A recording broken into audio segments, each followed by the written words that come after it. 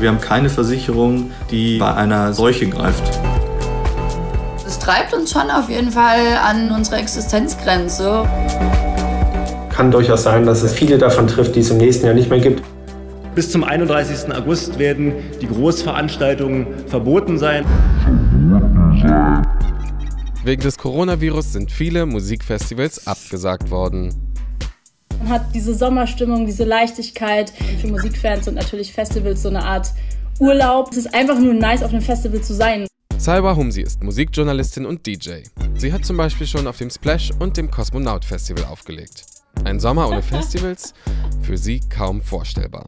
Also tatsächlich der Moment, wo, wo es mich richtig gepackt hab, hat und ich realisiert habe, die Festivals werden nicht stattfinden, war ich wirklich sehr traurig. Also es war wirklich ähm, das klingt jetzt so ein bisschen pathetisch, aber ich hatte wie so einen Tag so Liebeskummer. Aber ich weiß natürlich, dass es die einzige sinnvolle Entscheidung ist und dass, dass es richtig ist. Aber so dieser Vernunftgedanke, der hilft ja nicht immer bei Emotionen. Und als wäre das nicht schon schlimm genug, auch der Festivalsommer 2021 könnte ganz anders aussehen als geplant. Denn wie viele andere Kulturangebote auch, kämpfen Festivals jetzt um ihr Überleben. Ich schlafe schlecht, ich, hab, ich bin genauso verzweifelt wie die, ganz ehrlich, wirklich ehrlich. Das ist, mir blutet das Herz, ja. Und ich wünsche mir nichts sehnlicher zurück als einen Konzertsaal oder ein Theater. Was tut die Politik, um unsere Festivals zu retten? Wir wollen insbesondere die Musikszene bei den vielen Festivals, die wir in Deutschland haben, ob es Wacken ist, Rock am Ring oder viele kleine Festivals, für jeden Musikgeschmack haben wir eine so lebendige Musikszene, die müssen wir erhalten. Und die Folge wäre ein wirklich radikaler Kahlschlag im Bereich der Kultur, im Bereich des Sports und auch in der Kunstlandschaft. Und das ist unser Anliegen als große Koalition, dass wir das verhindern. Long live Rock'n'Roll. Neben den Riesen der Branche wie Wacken oder Rock am Ring verzeichnet die Festivalplattform Höhm etwa 550 kleinere und mittelgroße Festivals in Deutschland. Jonas Sedke ist Geschäftsführer von Höhm und Sprecher des AK Festivalkombinat, ein Branchenverband für Festivals. Ich glaube nicht, dass alle Festivals, die wir jetzt aktuell in unserer Datenbank erfassen, auch im nächsten Jahr genauso weiter bestehen können. Am härtesten würde ich sagen, trifft es die ganzen kleinen und mittelgroßen Festivals.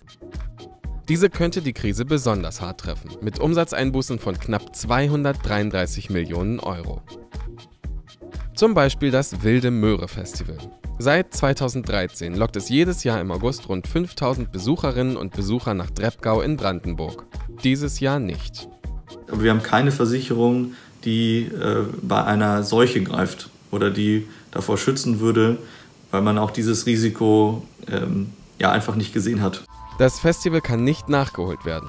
Also bleibt die Wilde Möhre auf den Kosten für Gehälter, Mieten und Buchungen sitzen. Auch wenn es nächstes Jahr weitergehen würde. 300.000 Euro sind jetzt schon ausgegeben worden, weil ja die Planung eines Festivals circa 14 Monate zuvor beginnt und auch schon ganz, ganz viel Planung da reingeflossen ist. Wenn es jetzt nun aber keine Veranstaltung gibt, bedeutet das, es gibt ja keine Einnahmen mehr, die man gegen diese Ausgaben stellen kann. Das heißt, wir sind gezwungen, irgendwie diesen Fehlbetrag äh, uns als Kredit zu leihen. So ähnlich geht es auch dem Feel Festival. Im Juli hätte es mit 20.000 Besuchern am Bergheider See in Brandenburg stattfinden sollen. 385.000 Euro haben die Veranstalter schon ausgegeben, sagt Kira Teige.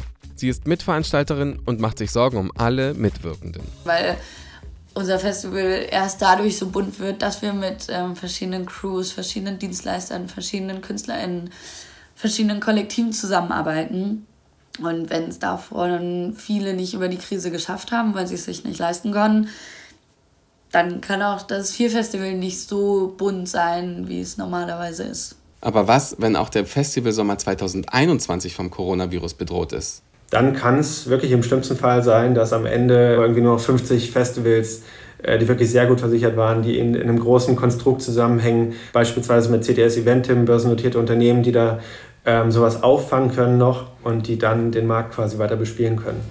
Was also macht die Politik? Erstens, gerade können Festivalveranstalter schon auf die Soforthilfe der Länder und des Bundes zurückgreifen. Wir haben einen Zuschuss bekommen, diesen Corona-Zuschuss, der möglich war, von 15.000 Euro. Leider ist das aber ähm, ja, nur ein Tropfen auf den heißen Stein. Von der Politik wünsche ich mir, dass man sich dessen bewusst ist und dass man dann sagt, okay, wir brauchen in irgendeiner Form einen Rettungsschirm, wir brauchen in irgendeiner Form äh, Geld, was diesen Unternehmen hilft, dass das nicht alleine auf den Schultern von den Einzelpersonen landet. Zweitens, auch Festivalveranstalter können die neue Regelung für Kurzarbeit nutzen.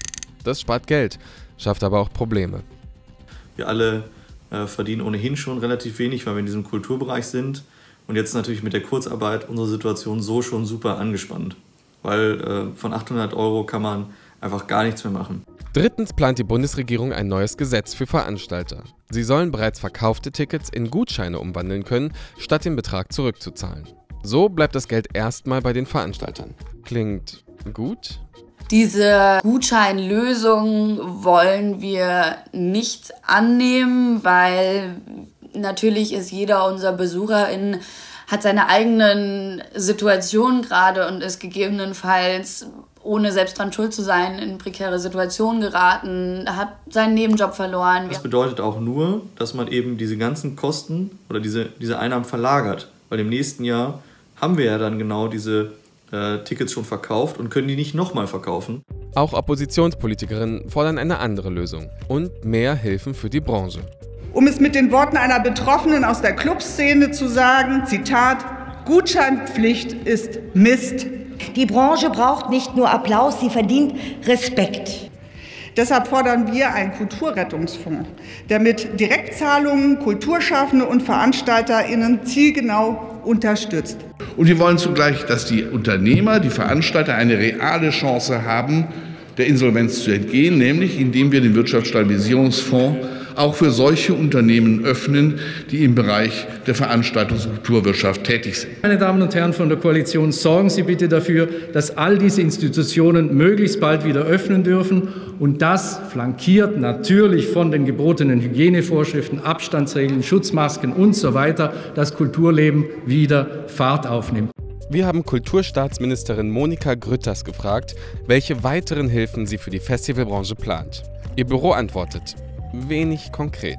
Die Bundesbeauftragte für Kultur und Medien setzt sich daher dafür ein, dass auch der Bereich der Festivals im Zuge etwaiger weiterer Hilfsmaßnahmen der Bundesregierung eine passgerechte Unterstützung erhält. Dazu ist die Bundesbeauftragte in Gesprächen mit Fachverbänden. Eines der wenigen Festivals, das in diesem Jahr noch hoffen kann, ist das Immergut Festival in Neustrelitz in Mecklenburg-Vorpommern. Eigentlich findet es seit 20 Jahren im Mai statt. Die VeranstalterInnen Rike Tesch und Björn Kagel haben es aber schon vor ein paar Wochen in den September verschoben. Also wir planen natürlich das Festival äh, weiter mit auch Anpassungen, äh, die jetzt schon mal durch, durchdekliniert werden. Was ist, wenn, wenn nur weniger Besucherinnen und Besucher zugelassen werden? Oder was ist, wenn zum Beispiel unglaublich viel Desinfektionsmittel benutzt werden, genutzt werden muss? Wie viel brauchen wir? Äh, was ist mit Abstandsregelungen? Wenn man diese ganzen Auflagen hat, dass das Gefühl eines Festivals sich ein bisschen verändert. Und wir hoffen, dass es nicht schlimm ist so und äh, glauben auch, dass das immer gut ist, trotzdem, dass es immer gut bleibt. Andere Festivalfans setzen auf digitale Lösungen. Auch Salwa Humsi streamt ihre DJ-Sets regelmäßig auf Instagram und träumt ansonsten schon mal vom nächsten Jahr.